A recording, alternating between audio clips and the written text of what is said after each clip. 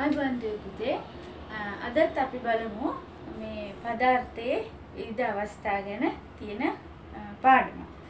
අපි අද බලමු ලෝහ මලින වීම කියන්නේ මොකක්ද කියලා.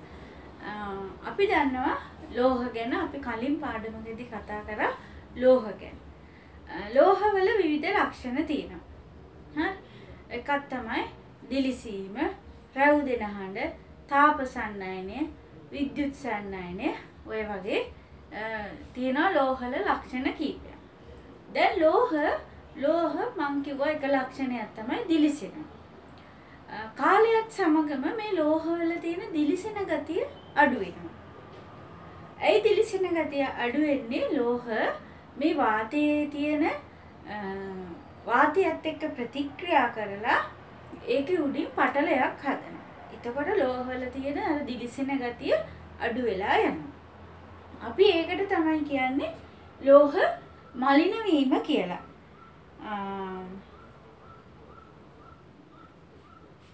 ලෝහ මලින වීම කියන්නේ ලෝහ වාතයට විවෘත වූ විට දිස්නය අඩු වීම.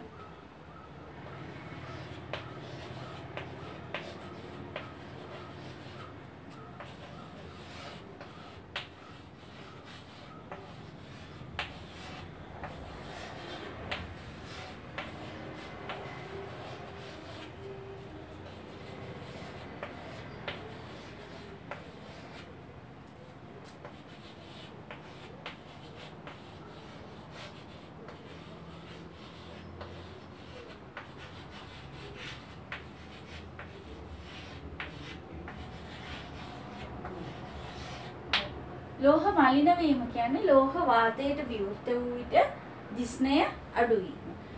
අපි පොදුවේ හැම ලෝහයක් අපි දන්නවා ලෝහ මොනවද? ඇලුමිනියම්, කොපර්, මැග්නීසියම්, යකඩ, රම්, රිදී ඒව ඔක්කොම ලෝහ.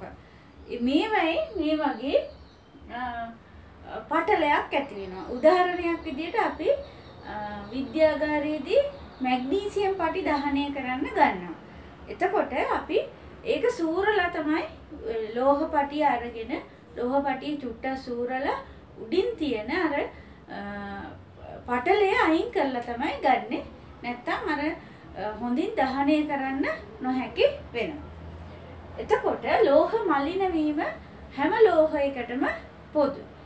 අපි ඊට පස්සේ ගන්නවා මල බැඳීම. යකඩ මල බැඳීම.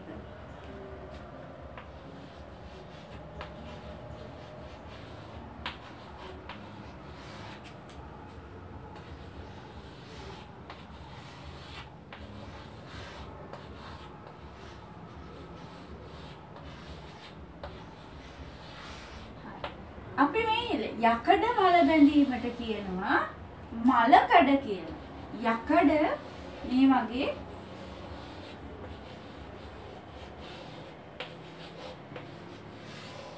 යකඩ යකඩ මලින වෙනවට කියනවා මලකඩ කනවා කියලා. හරි? යකඩ වලට විතරයි අපි ඒ වගේ මලකඩ කනවා කියලා කියන්නේ. අනිත් ලෝහ වලට අපි කියන්නේ මලින වෙනවා කියලා. ඇයි මේ යකඩ මලකඩ කන්නේ අර වගේම වාතයත් සමග ප්‍රතික්‍රියා කරලා. හරි අපි බලන්න ඕනේ ඊළඟ වීඩියෝ වලදී අපි කතා කරනවා වාතයේ තියෙන මොනවා සමගද ප්‍රතික්‍රියා කරන්නේ කියලා. එතකොට අපි දන්නවා දැන් මලින වීමේදී දැන් හොඳ යකඩ එකක් තියෙනකොට ඒක මලකඩ කෑවහම දුඹුරු පාට වෙලා පොතු පොතු ගැලවිලා යන තත්ත්වයට පත් වෙනවා. ඒකේ තියෙන ලස්සන නැති වෙනවා. යකඩ මලකඩ කෑවහම. අපි දැන් බලමු මේ යකඩ මල බැඳීම කියන්නේ මොකක්ද කියලා. අපි රසායනික විපර්යාස ගැන කතා කරානේ. එතකොට මේ තිබුණ එක තිබුණ යකඩේ ලස්සනට තිබුණ යකඩේ වෙනසකටපත් වෙනවා. විපර්යාසයකටපත් වෙනවා. මේක රසායනික ප්‍රතික්‍රියාවක් හින්දා තමයි වෙන්නේ.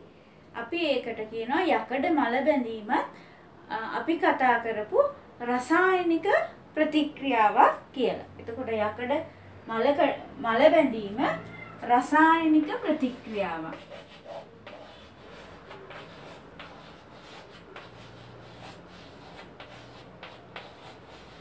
රසායනික ප්‍රතික්‍රියාවක් නැත්නම් රසායනික විපර්යාසයක් කියලා ලියමු.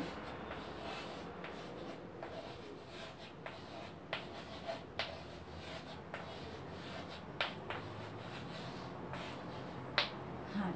අපි බලමු කොහොමද මේ යකඩ මල බැඳෙන්නේ කියලා.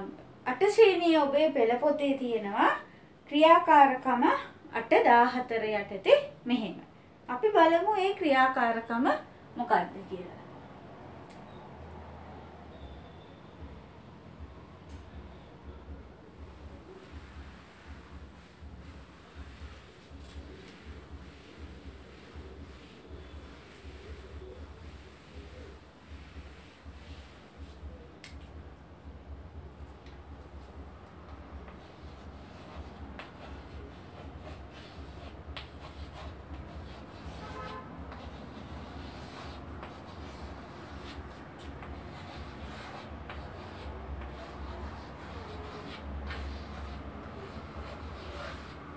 හරි.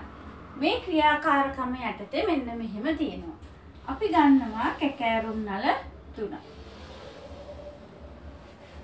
එක සමාන කැකෑරුම් නල මේ වගේ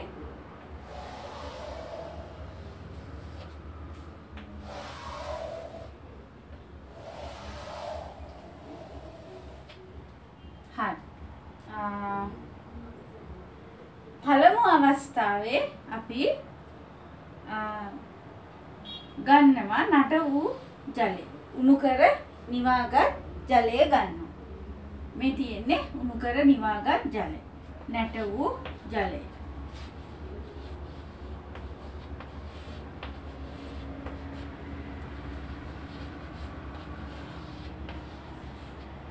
මේ දෙකට දානවා ඇල් ජලය. මේ දෙකේ තියෙන්නේ ඇල් ජලය.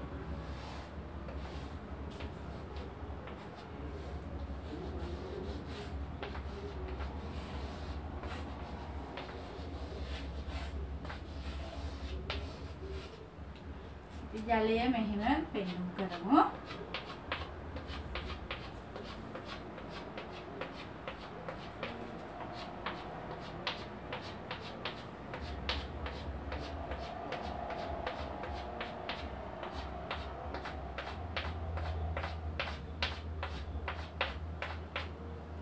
හරි. ඊට පස්සේ අපි මේ තුනටම යකඩ ඇන හොඳ පිරිසිදු අලුත් යකඩ ඇන දෙකක් ගානේ දානවා.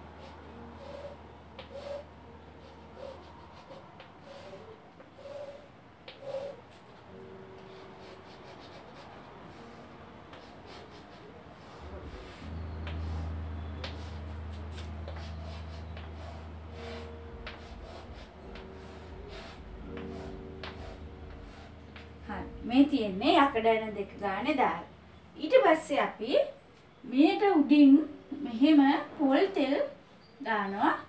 තෙල් තට්ටුව මේ තියෙන්නේ තෙල් තට්ටුව මේ දෙවෙනි එකටත් අපි දානවා තෙල් තට්ටුව හරි. එතකොට මේ තියෙන්නේ මේකයි. මේකයි තෙල් තට්ටු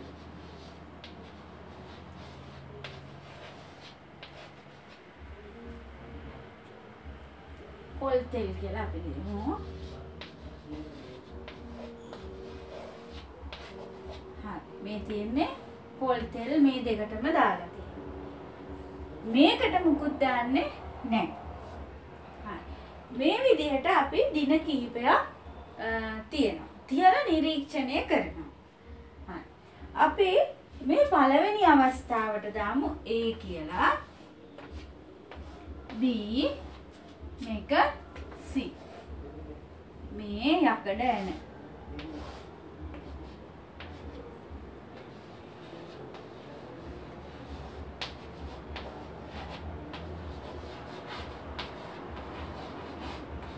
එක සමාන යකඩ ඇන දාලා තියෙන්නේ මේකේ යකඩ ඇන.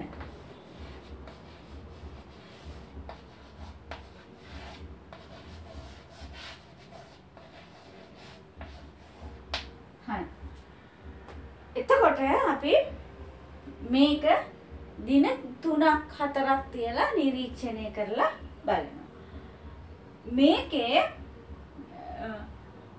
මේ ඇන දෙක යකඩ ඇන දෙක මලකඩ කාලා නැහැ.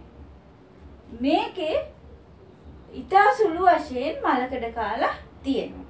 B අවස්ථාවේ. C අවස්ථාවේදී බොහෝ දුරට ගොඩක් මලකඩ කාලා තියෙනවා. අපි බලමු මේකට හේතුව මොනවද කියලා. මේ නැට වූ ජලය. ජලය නටවාගත් විට ජලයේ දිය වෙලා තියෙන ඔක්සිජන් වායුව නැති වෙලා යනවා. ඔක්සිජන් වායුව නැති වුණාම මේ යකඩ ඇන මලකඩ කන්නේ නැහැ. එතකොට මේ ඒ අවස්ථාවේදී මලකඩ කාලා තිබුණේ නැහැ. ඉතාම අඩු වශයෙන් ටිකක් මලකඩ කාලා තියෙන්න පුළුවන්. සම්පූර්ණයෙන්ම ඔක්සිජන් වායුව ඉවත් වුණේ නැත්තම්. ජලයක් තියෙනවා මලකඩ කාලා තිබුණේ නෑ ඒ මේ දෙවෙනි අවස්ථාවේදී අපි ඇල් ජලය ගත්තේ ඇල් ජලය උතුරවා නිවාගත් ජලය නෙවෙයි එතකොට මේ මේකේ දිය වෙලා තියෙන ඔක්සිජන් තියෙනවා. එතකොට මේක යම්කිසි ප්‍රමාණයක් මලකඩ කාලා තියෙනවා. මේ අවස්ථා දෙකේදීම අපි මෙහෙම තෙල් තට්ටුවක් දැම්මා. මේකට තවදුරටත් ඔක්සිජන් වායුව ඇතුල් වෙන්නේ නැහැ. වායුගෝලයේ තියෙන ඔක්සිජන් වායුව මේවට තවදුරටත් ඇතුල් වෙන්නේ නැහැ. ඔක්සිජන් වායුව ඇතුල් වුණාම ජලයේ දිය වෙලා ආයේ ඔක්සිජන් වායුව ඇනේට ලබා ගන්න පුළුවන්. තෙල් තට්ටුව තියෙන නිසා ඔක්සිජන් වායුව දිය වෙලා ආයේ වායුගෝලයේ තිබෙන ඔක්සිජන් වායුව ආවේ නැහැ. මේ C අවස්ථාවේදී වායුගෝලයට නිරාවරණය වෙලා තියෙනවා ජලයක් තියෙනවා ජලයේ දිය වූ ඔක්සිජන් වායුවක් තියෙනවා ඒ අවස්ථාවේ හොඳින්ම මේ යකඩ ඇනේට මල බැඳීමේ අවස්ථාව තියෙනවා. එතකොට වාතයයි ජලයයි අවශ්‍ය වෙනවා යකඩ මල බැඳීම සඳහා. මේ ක්‍රියාකාරකමෙන් අපි බැලුවේ මේ යකඩ මල බැඳීම සඳහා අවශ්‍ය වන සාධක මොනවද කියලා පරීක්ෂා කර බැලීම. අපි ඉදිරි වීඩියෝ එක කතා කරමු කොහොමද ජල වාෂ්ප ඕන වෙන්නේ කොහොමද ඔක්සිජන් වායුව ඕන වෙනවද කියලා තව දුරටත් කතා කරලා බලමු. ආයිබෝවන්